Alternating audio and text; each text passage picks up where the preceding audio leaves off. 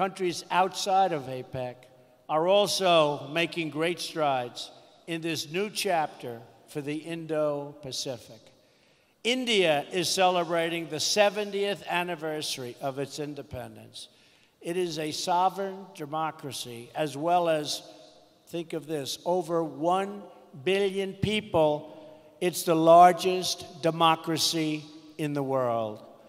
Since India opened its economy, it has achieved astounding growth and a new world of opportunity for its expanding middle class. And Prime Minister Modi has been working to bring that vast country and all of its people together as one.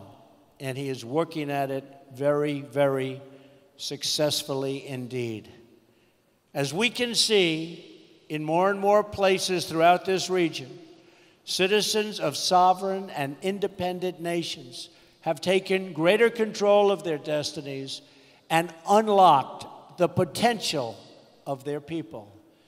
They pursued vision of justice and accountability, promoted private property and the rule of law, and embraced systems that value hard work and individual enterprise. They built businesses, they built cities, they built entire countries from the ground up. Many of you in this room have taken part in these great uplifting